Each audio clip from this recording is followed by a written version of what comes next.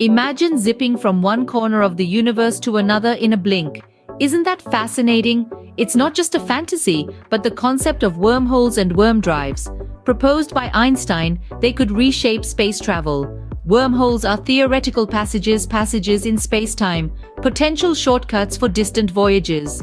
Worm drives might allow faster than light travel, respecting physics laws. Although purely theoretical, these ideas captivate captivate researchers and dreamers alike.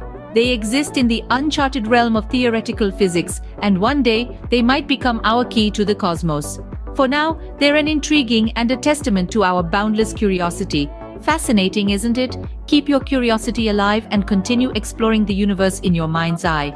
Until next time, this is your daily dose of cosmic wonder.